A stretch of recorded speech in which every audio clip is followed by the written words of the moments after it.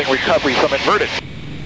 It's an exercise I do with my students. We pull up, we do one and a half rolls to inverted.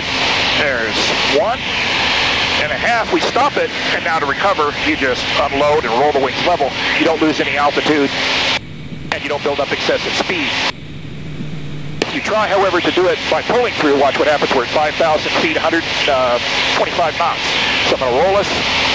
One, two, and now I'm going to try to pull through. I got to pull the power way off. I got to pull hard. I got to pull very hard.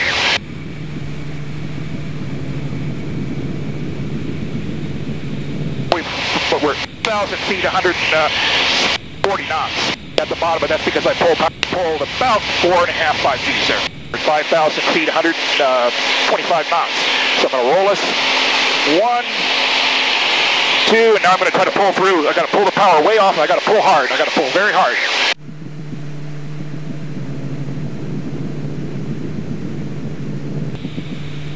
Not a maneuver you'd want to try to do in a uh, typical uh, normal category airplane, especially low to the ground. So again, the drill is if you find yourself overbanked or inverted, you want to roll wings level the shortest way and then recover. That saves you uh, altitude and airspeed. So here's the maneuver again. 120 knots, 4,500. So we go up and we roll, just like we got caught in wing turbulence, so upside down, find the horizon, unload, roll wings level. That's why we do aileron rolls for practice to get comfortable with that sight picture.